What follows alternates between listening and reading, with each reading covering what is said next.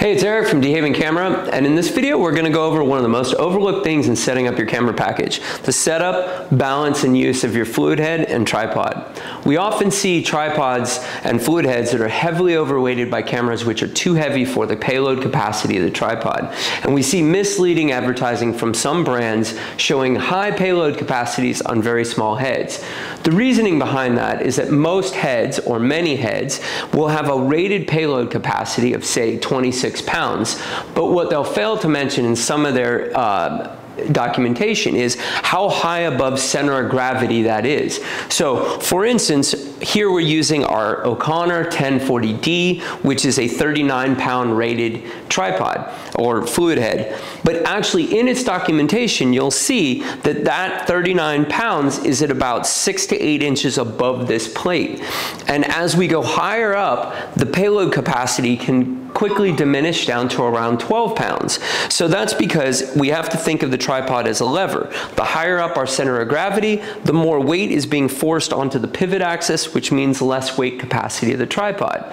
If we look at some of the lesser or lower cost brands, we'll see high payload capacities with either unpublished center of gravity max, max heights or um, published ones, but you'll notice that they diminish very quickly. So it's a good thing to keep that in mind.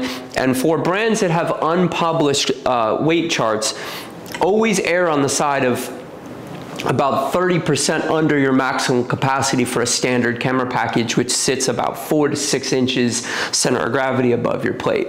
So going into that, we're gonna take a look at uh, our Venice here. So we're gonna put a Venice 1 onto our camera package here, or onto our fluid head and we're going to lock that down. Now for most cameras it's a really good idea to use what we call a dovetail or a sliding plate in this instance, this is called an ARRI standard dovetail. It's a little bit wider than some of the LWS or narrow dovetails, which you can see on some of the smaller cameras like Blackmagic Pockets. So this dovetail allows us to unlock and easily slide the camera forward or backward quickly. That allows us to find a balance or center of gravity for the tilt. It also allows for an easy quick release so that we can just slide the camera off and take it off uh, to go handheld or to put it back on the bench. The reason for that is that an unbalanced camera, say just bolted directly to the top of the tripod with no, no forward or rear balance, can cause the camera to either fall backwards or tilt forwards when you're not paying attention to it. If we accidentally walk away with the, with the tilt unlocked, the camera could potentially slowly tilt forward on its own, and if it happens to fall between the tripod legs, can actually tip over in some circumstances. So having a well-balanced tripod is quite important. So like we said for this instance, we're gonna have an ARRI slide plate here.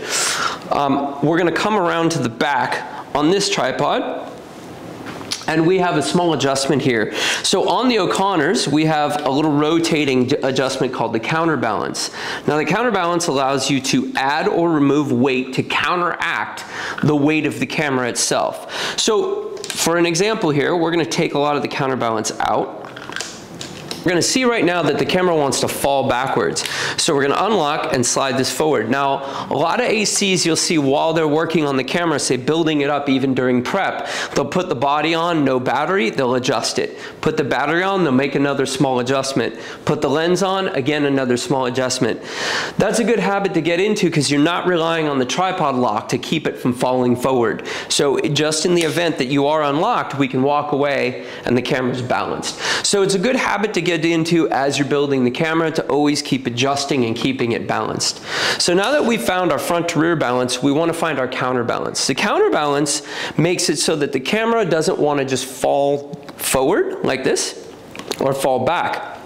So by adding more counterbalance, which we can do by turning this knob here uh, or this crank on the back of the 1040, on some cameras uh, or some heads like a Sachtler, it's a little uh, step knob on the back, or like many of our Cartonis, uh, it may be a, uh, a knob on the side. So as we add more counterbalance, we can see that the camera can pretty much stay where I want it. If we add too much counterbalance, the camera will pogo back. So like we can see, it's bounding, uh, coming back at me like this. That's too much counterbalance. So we'll reduce the counterbalance again, just till we get to the point where the camera doesn't really want to come back. towards me. So it wants to sort of stay in position. So that would be the correct amount of counterbalance. From there, we can then start to add our tilt drag and that will give us that, that smooth movement that we're looking for and the ability for me to just leave the camera pointed in a direction with the head unlocked. I could walk away from this and the camera is not going to just start to tilt over on its own because again, we're well balanced. We have the correct amount of counterbalance and a little bit of tilt drag. So once we have that done, we can then start to adjust our pan drag. So on the 1040D, it's this knob down here on the operator's left-hand side. And by reducing the pan drag, we can make it move uh, more freely, pan right to left, and by increasing, we can reduce that free movement or add more drag so it moves more slowly. One misnomer that some people will do with a lower cost heads that don't have a lot of um, drag reduction is they'll vary the amount of lock. So your pan lock, we've seen this be, be done, is vary the lock here and try to use that as your drag reduction. That's a really bad habit to get into because it can really heavily wear onto the pads or the brakes within the within the head and ultimately damage your head. So making sure that you're completely unlocked and you're using the pan drag the fluid drag to give you that resistance. And if you don't have enough fluid drag or enough resistance for your, your uh, preferred operation, move to a bigger or higher quality head, which will give you that kind of resistance that you're looking for. The next thing with a lot of these heads is we have a QR or quick release in the front. Um, on the 1040, it's up here in the front. On our Cartonis, it's in the back. Sachtlers, it's in the back as well. And that will be on our QR plate, or our quick release plate. It's very important when you're locking that plate down that you hear it click completely and then always check the lever to make sure it locks back and is completely locked before you let go of the camera.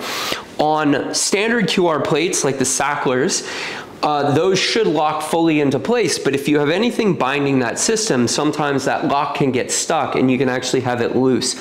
So I like to just give it a little extra push to make sure it's fully locked down. On the O'Connors, when you put this in, it's not gonna lock fully right away and you have to manually put it into the locked position and there's a safety lock on the front of the knob. So the next thing to remember when packing up your tripod, we're gonna take our camera off we can remove this off the dovetail, put our camera back over here safely. When we're gonna pack this back up in the case, it's a good thing to always take off your dovetail, put this somewhere where it's not impacting the camera or banging up against a tripod or sticks. So usually in a side pocket or in a case somewhere where there's space. The next thing, and we see this all the time, is we never wanna store a fluid head with the head tilted down and locked like this with the handle pointed uh, in parallel with the legs. That causes a heavy amount of stress on the counterbalance system and can damage the head in transit. So it's always important to leave the head flat and you can either leave it locked or unlocked, but flat and level with no tension. Reduce the counterbalance when you're traveling, when it's going, getting packed up for a long period of time. Um, if it's just overnight for the next shoot day, you can leave it where it is, but if you're taking it back from a rental or if it's gonna be stored for a couple weeks till your next shoot is reduce your counterbalance.